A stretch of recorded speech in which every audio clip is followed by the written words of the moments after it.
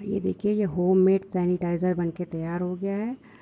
तो आजकल जो कोरोना वायरस चल रहा है, उसकी वजह से हमें ये सैनिटाइज़र जो है, हमें बाहर भी लेके जाना पड़ रहा है। तो इससे हम हाथों को हमें अच्छे से वॉश करके रखना है।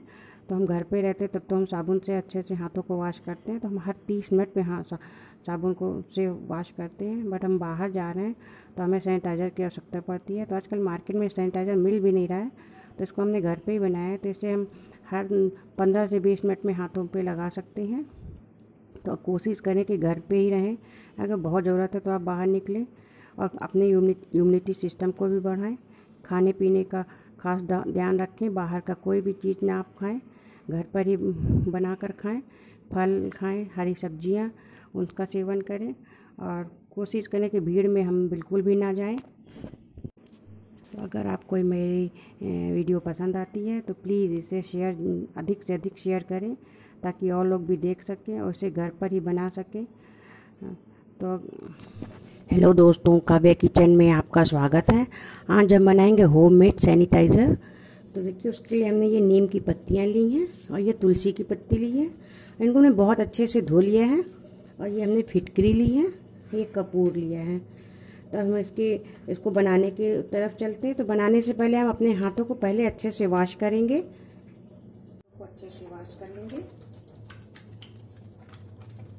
हाथों को हमें बहुत अच्छे से वॉश करना है। हमें हर तीस मिनट पे हाथों को वॉश करते रहना है। तो हम घर पे रह रहे हैं तो साबुन से हम वॉश करते हैं। पर हम बाहर जाते हैं तो हमें सैनिटाइजर की ज़रूरत पड़ती है।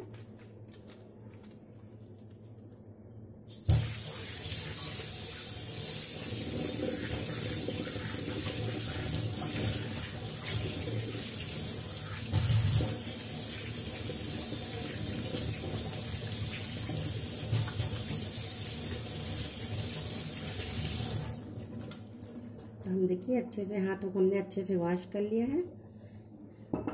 दो से ढाई गिलास के करीब पानी डाल देंगे हम।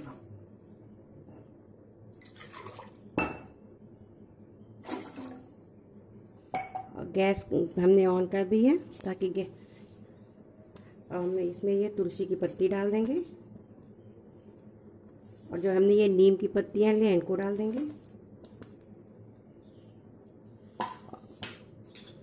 ये फिटकरी और ये कपूर। और इनको हम जब तक बॉईल करेंगे जब तक ये आधा नहीं रह जा रहा है तब तक हमें इसे उबालना है। ये देखिए ये पानी आधा रह गया है। और इसकी देखिए नीम और तुलसी की पत्ती से इसका कलर एकदम चेंज हो गया है। और, और पानी भी आधा रह गया तो अब हम गैस बंद करेंगे। और जो ये नीम है तो ये ये औषधि इसमें काफ़ी मात्रा में कीटाणु को मारने की क्षमता होती है तो इसको हम गैस बंद करेंगे और इसको ठंडा करेंगे।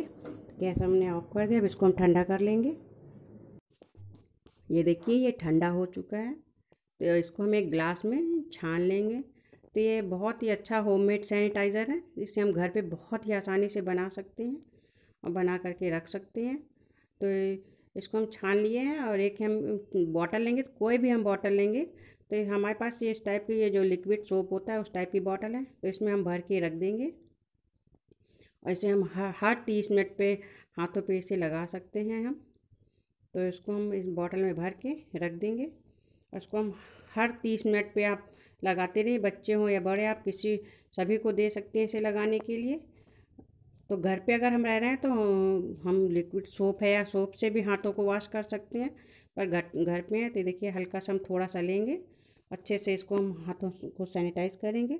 तो नीम में काफ़ी मात्रा में औषधि गुण पाए जाते हैं तो दांत, खत, खुजली को ये ख़त्म करता है। जो तो चर्म रोग होते हैं, उन पे हम ये, इसका जो नीम की छाल होती है, उसका लेप करते हैं।